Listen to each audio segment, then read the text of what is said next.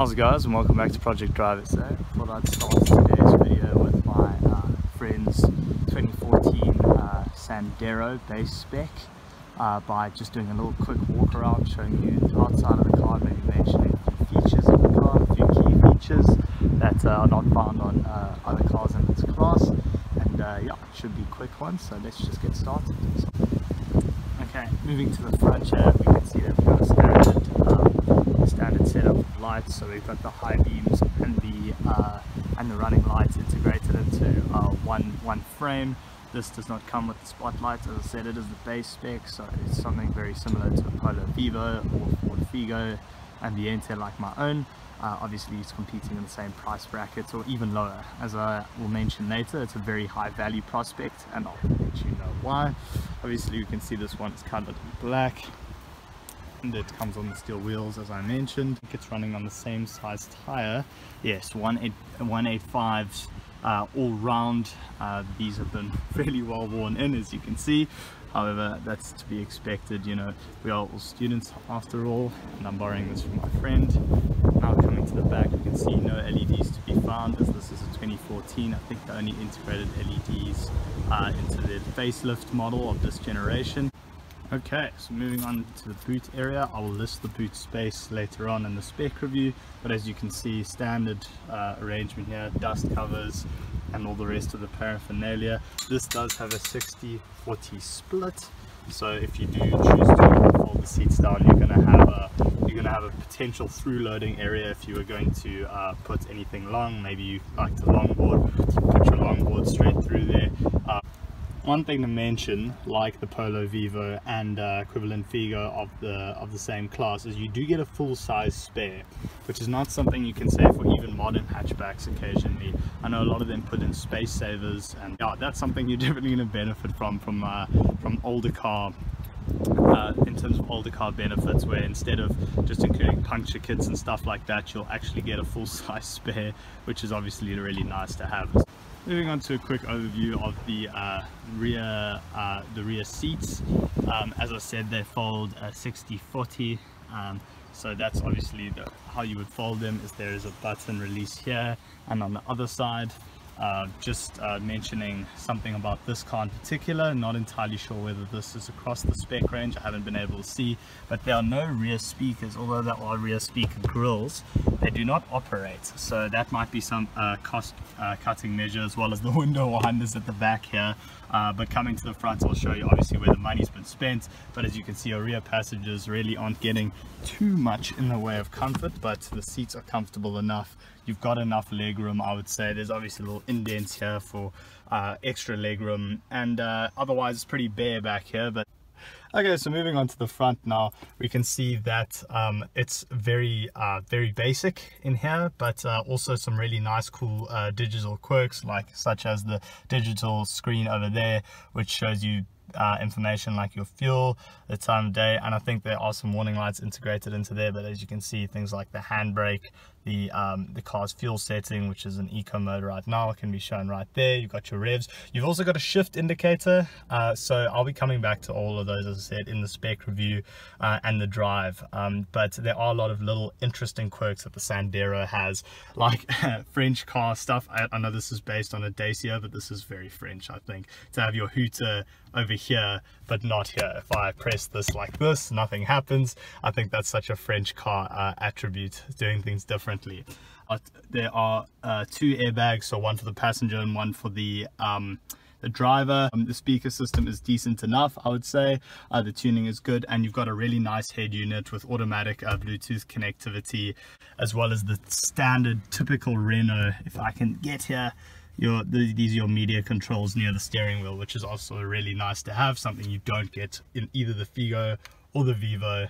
Um, not obviously sure about upgraded models like such as the Fiesta and the uh, General Polo, but for this kind of price, you don't generally see stuff like that. Obviously, you can see all your um, HVAC controls are all physical.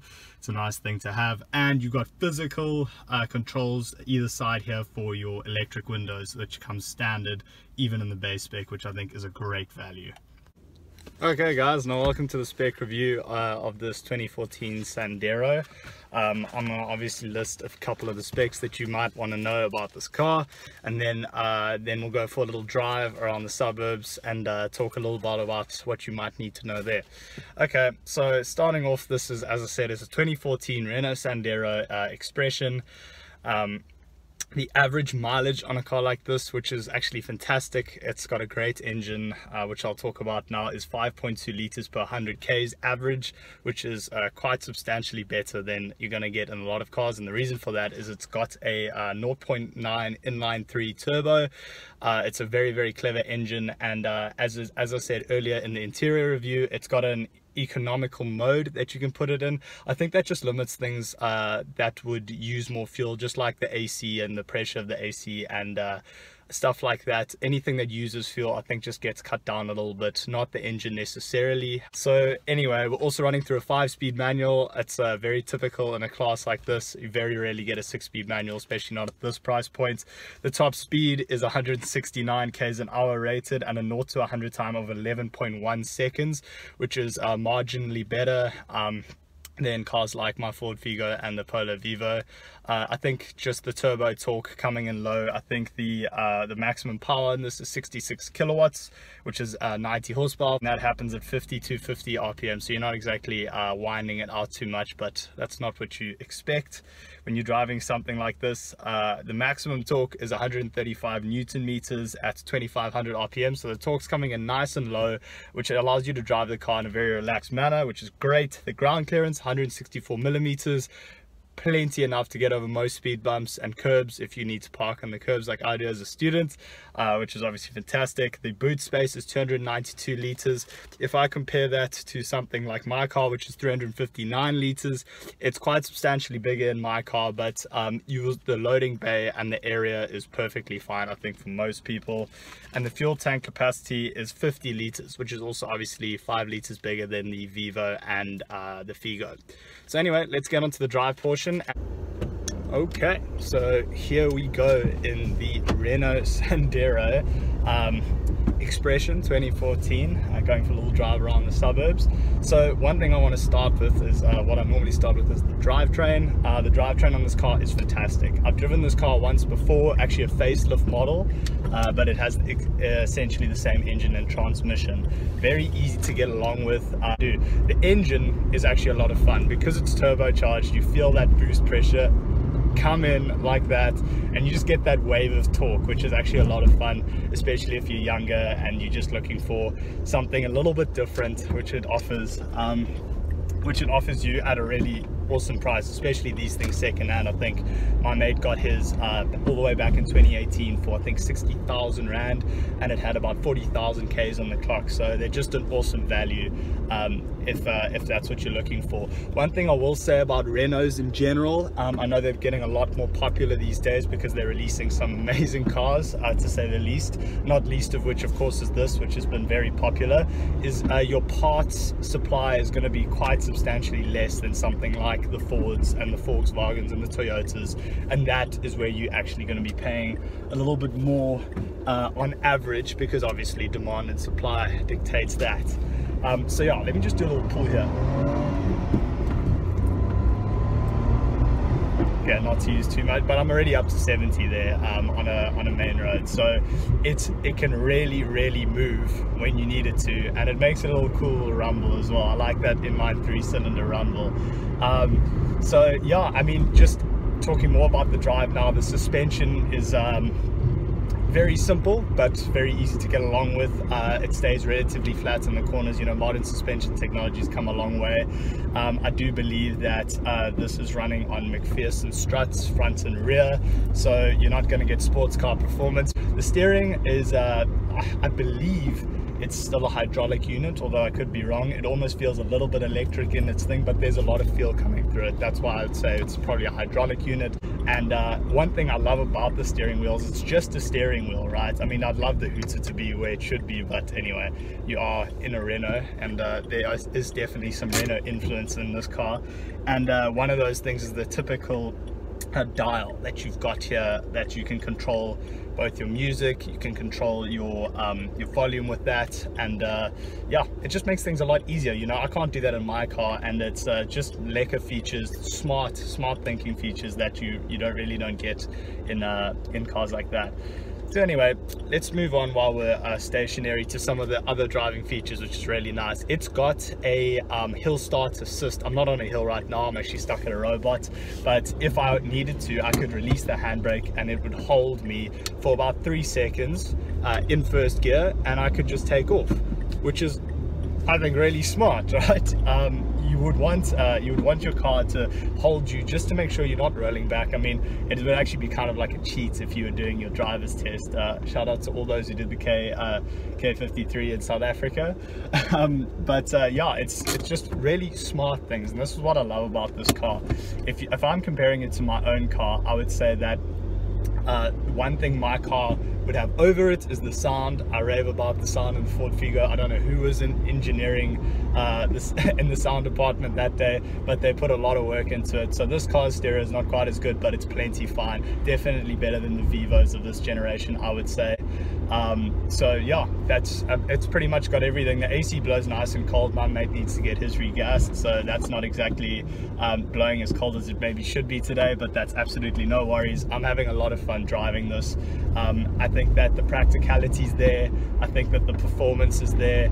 I think the, the fun element for young people who want to drive this is there and uh, and the fuel economy. In, in in South Africa's environment today you're gonna want fuel economy and this car just sips fuel. And if you really wanted to sip even more fuel by just you know reducing your amenities just clap the eco button down here goes into eco mode everything gets kind of pulled back a little bit and uh, and then and then you can just chill out. I mean it's not like as I said the the performance is greatly reduced at all. Um, it just kind of you know it reduces all the things it needs to needs to reduce. Um, in terms of visibility the visibility is really good. Uh, it's not quite as good as my car but plenty good for any uh, reasonable person I would say. I don't think there's anything wrong with uh, with trying to place the car. Okay so how are the brakes? Well the brakes are okay. Uh, they are a little bit vague to say the least, but you know what? If you've been driving a car for more than a year, you'll get on with them just fine. Um, I don't think that uh, I don't think it's really something to write home about or something to go, wow, those are really great gravity brakes. They just they work. So that's that's all right. The clutch feel is fine. Um, it's easy, very very light. Um, it feels maybe a little bit dainty at times in comparison to uh, something just with a bit more heft, but you know what? It does the job absolutely fine and uh, and that's pretty much all I have to say about this car. Everything that needs to work works. All things that need to be there are there. And it's got really clever little additions that you would never get uh, with other cars at this price. So that's I think where I want to uh, conclude is should you get um, a car like this if you're looking to get you know 2014 lower end hatchback uh, just for puttering around or doing whatever. I mean this car's been to the Cederberg. So if you need a car like that and you're comfortable with paying uh, a little bit more for repairs and services um, then I really don't think you're going to find much better. The only thing is, is uh, everybody wants to question Renault reliability. I think these days it's a lot better, but you are also running a turbocharged engine. That adds complexity and that adds uh, service cost. So if you're looking for a more simplistic, robust uh, experience, more proven, uh, you're probably going to want to go Toyota, Ford, Volkswagen, the, the safe bets, but you're also going to be paying more money and getting less features. So that's what you're getting. You're getting uh, a higher value prospect and uh, ultimately having a little bit more fun, I reckon, as well. So anyway, guys, please uh, like, comment, subscribe if you like what I did here and uh, maybe give me some feedback. I really do appreciate it. And uh, I'll be coming out with my walk around video of the Land Rover soon. So stay tuned for that. And uh, yeah, I'll see you guys next time. Cheers.